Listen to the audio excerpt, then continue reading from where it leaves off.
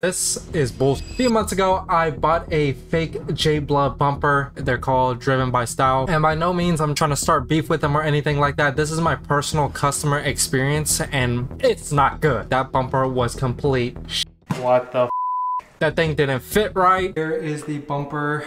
Um, obviously this would sit in a lot more flush. Oh, I had to take off the crash bar just to make it fit even better. 253 right here. However, you have to pay the shipping fee and the tax, and that will total out to basically 380, almost $400. Because it was made out of fiberglass, it was not flexible at all, so I couldn't really manipulate the bumper to the car and make it fit as best as possible. Because if I did any more than that, it literally probably break off like a bag of chips. Here's the biggest issue.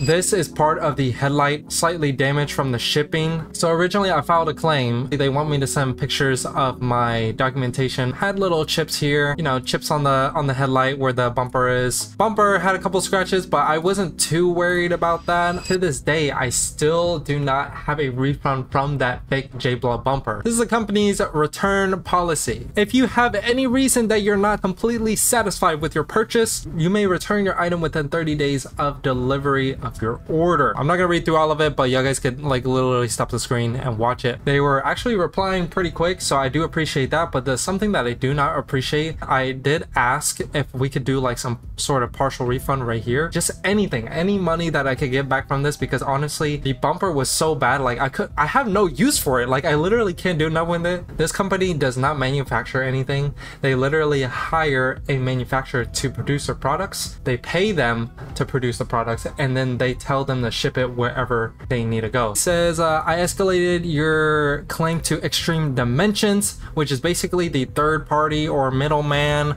of this. You know, I'm not a perfect guy or anything like that. There is a policy you need to sign for. I think most people have been in my position and literally just skim through it or just check I agree and stuff like that and we go about our days. It said like you need to sign off as damaged, but during that time I didn't know. So when the delivery guy came, he literally dropped off the package and then left. But what you're supposed to do, open it up right then and there and if you see anything that's damaged, you gotta tell the delivery man, mark it as damaged.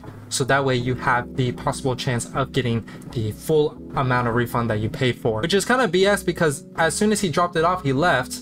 It's like when you expect to buy something new, you expect it to come in you know, good condition. Now, there was some part on mine, it's like, okay, well, I did buy a cheap bumper from a unknown company, and it just kind of sucks. It's like, dude, I'm being reasonable, and it seems like he's replying back, but the thing is, it's like, it's always it's always in a loophole. If the product came in, it was already damaged. Can you at least try to help, you know, refund for the damage at least? Unfortunately, the damage was not documented at the time of delivery. I can offer a small partial refund of 40 bucks. However, we're unable to proceed with the damage claim with the carrier at this time. We apologize for inconvenience that we might have caused. Please advise. 40 bucks, it's like, dude, I do not have time to be fixing this. I'm a one-man team. I'm the one that's editing the videos, managing the emails, creating the new ideas. I do not have time to fix a fiberglass bumper that already fits like do not go too cheap and I think that's kind of what I uh, realized don't go too cheap and if you do go cheap just go eBay or Amazon